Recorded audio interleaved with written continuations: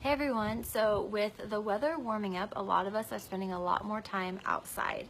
Um, and with that are all those little pesky mosquitoes. Um, so this right here, the TerraShield blend, is amazing, Amazing. for that. Um, this is actual, comes in a little squirt bottle. You can actually, I can Whoa, all of a sudden I'm like a midget. Can the wind's coming that way. But you can just squirt it. It already comes in a little spray bottle. So it's amazing to just throw this in your purse and keep it around you. Um, It is called it is so called the repellent blend. So it's good for repelling bugs. Bugs? Didn't I say that last time? Bugs or blugs, zombies, whatever you want to call it.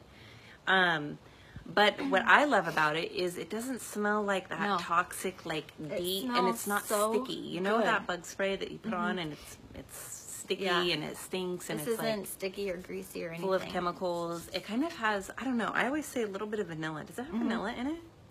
I don't know, let's see. Yes, it does.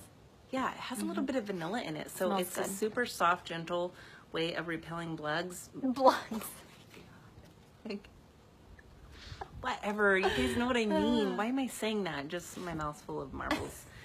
but bugs. Mm-hmm. And um yeah, and it's not toxic and it's good for the whole family, Yeah. Mm-hmm. including even um, little ones. So Yeah, so you can get that, pop it in a diffuser, or grab some of these and keep them in your kid's sports bag. Because now with baseball season, Yeah. all that stuff, That's what I was gonna say. Yeah, you're outside. golf, Mm-hmm. baseball, uh, soccer, Just carry these around. yeah, have a few of those on hand. Put them in your purse everywhere you go, and everyone's gonna love you because you got that stuff. Mm-hmm.